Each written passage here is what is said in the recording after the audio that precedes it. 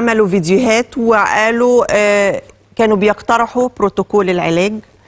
وإحنا في النهاية آه، الكلام ده إحنا ما نقدرش إن إحنا نطبقه لأن إحنا مش عارفين إنه ده صح ولا غلط. كل واحد بيجتهد وبينزل اللي هو شايفه على آه، السوشيال ميديا سواء كان طبيب أو جات له وصفة من أي حد كان بينزلها. خطر جدا إن إحنا نسمع لأي حد. إحنا مش متأكدين منه. حتى يعني طبعا مع احترامي لكل الأطباء اللي عملوا فيديوهات بس في النهاية يا جماعة ارجوكوا بلاش إن أنتوا تستجيبوا لهذه الروشتات لأنه في النهاية لازم تروحوا لجهة موثوق فيها. أي مستشفى من المستشفيات أو آه، أي أي بيان من وزارة الصحة هو ده اللي صحيح. لكن أي حد يجتهد وينزل روشتة على آه، صفحته على الفيس أو يبعت آه، على الواتس أي حاجات كل ده بلاش إن إحنا نعمله لأنه في النهاية هو غير فعال وممكن يضر. خليني أسمع أكتر رأي الدكتور هاني الناظر معايا على التليفون. الرئيس الأسبق للمركز القومي للبحوث. مساء الخير يا دكتور. خير دكتورة جيهان أهلا بحضرتك. أهلا بيك. آه، أولا أنا عايزة من حضرتك نصيحة آه، على آه، كل الروشتات اللي شفناها في الفترة اللي فاتت اللي كانت موجودة قدامنا. الحقيقة الموضوع ده أنا اتكلمت فيه وقلت دي يعني حاجة خطر جدا. المشكلة في حضرتك الحقيقة. إن في ناس كتير لما شافت الكلام ده بدأت تنزل الصيدليات وتشتري الأدوية. صحيح. كلام أيوه. يعني ما عندهمش حاجة. فعلى أساس يقول لك أنا اشيله عندي عشان لو قدر الله جه المرض أبقى العلاج فطبعا كان نتيجته آه، إن بيسحب أدوية. دي في ناس تانية بتحتاجها لأمراض أخرى. فعلا. فإنت كده حرمت ناس من أدوية هم محتاجينها وفي نفس الوقت أنت ما عندكش حاجة. يعني أنا بقول أنت بتفول على نفسك. مم. فأنت بتاخد أدوية تخزنها وفي مريض تاني محتاجها. فده يعني أنا بأناشد الناس الحقيقة ان هم يتوقفوا عن كده تماما وما يقروش الكلام ده وما ينزلوش يشتروا أدوية وهم سلام.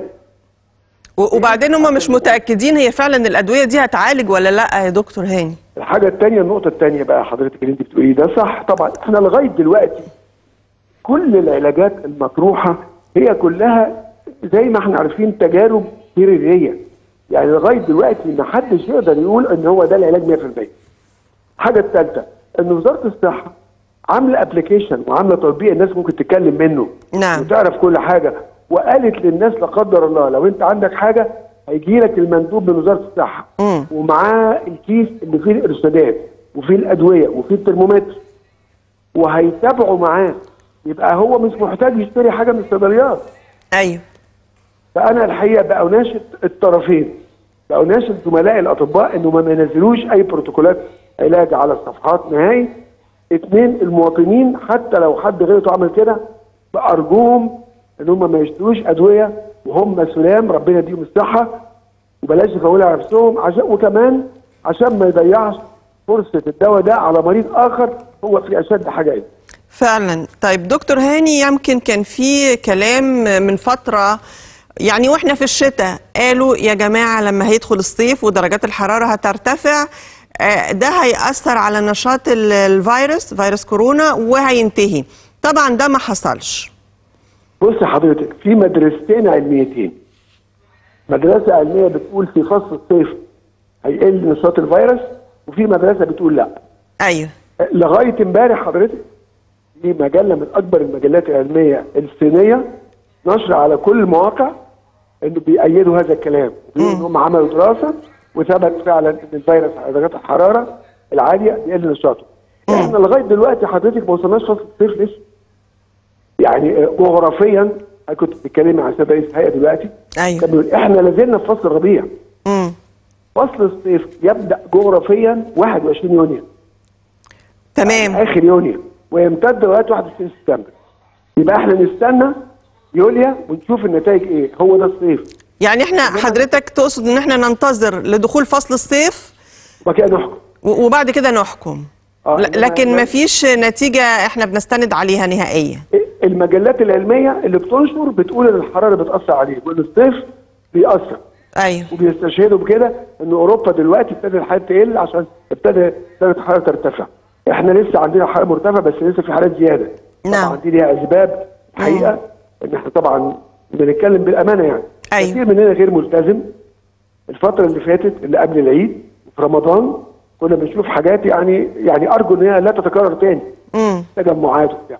فيعني يا ريت ناخد بالنا من نفسنا عشان صحتنا أمانة ونبدأ نتبع التعليمات بجد بقى بالأمانة.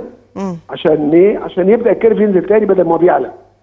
يا رب يا. دكتور يا رب ينزل لأنه إحنا خايفين كمان من بعد فتح آه، ال- ال- الحياة خالص وإلغاء الحظر إنه الحالات تزيد أكتر.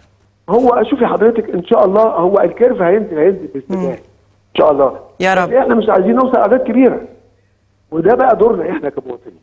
بشكر حضرتك دكتور هاني الناظر الرئيس الأسبق للمركز القومي للبحوث فاصل ونواصل مشاهدينا